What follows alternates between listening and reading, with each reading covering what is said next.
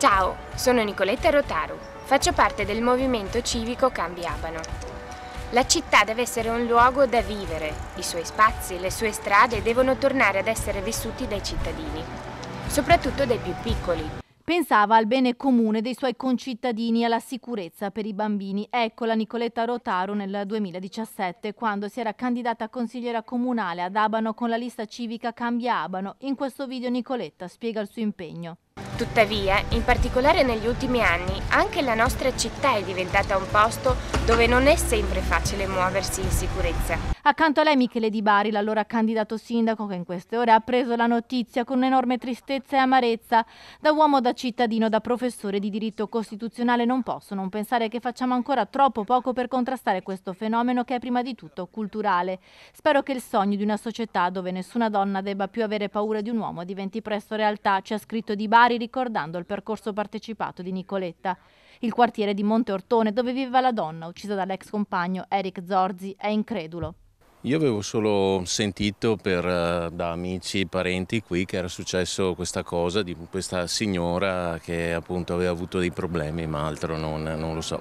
Sapeva se c'erano litigi con la moglie? No, mai sentito.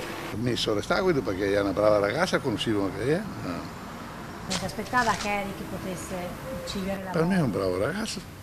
Mi veniva stare a moto e morto. Non le aveva mai detto se aveva problemi con la moglie? Mai.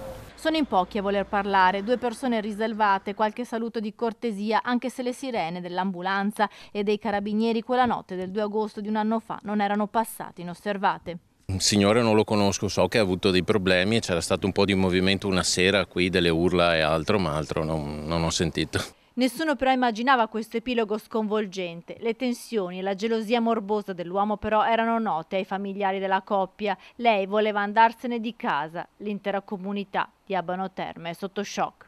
Il primo pensiero primo va ai familiari naturalmente della, della povera eh, donna e naturalmente l'attivazione di tutti quei servizi sociali di aiuto e di accompagnamento che abbiamo prontamente attivato. Nicoletta Rotaru è l'ennesima donna vittima della violenza maschile. A maggio a Vigonza, già da Zanola, era stata uccisa dal compagno che l'aveva gettata dal cavalcavia vicino a casa dopo averla stordita con i farmaci per inscenare, anche in questo caso, un suicidio.